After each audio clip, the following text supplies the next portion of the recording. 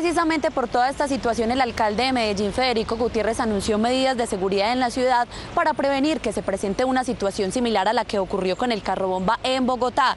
El Ejército Nacional señaló que también se están realizando labores de inteligencia y contrainteligencia para prevenir esta situación en el departamento de Antioquia.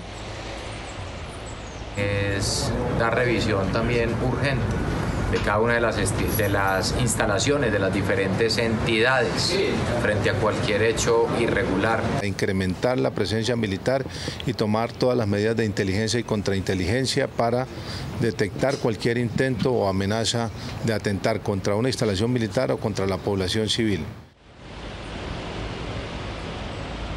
El alcalde de Medellín pidió al gobierno, al gobierno nacional celeridad en las investigaciones para dar con los responsables de este lamentable hecho. Información desde Medellín, Carolina Zuluaga, Noticias Caracol.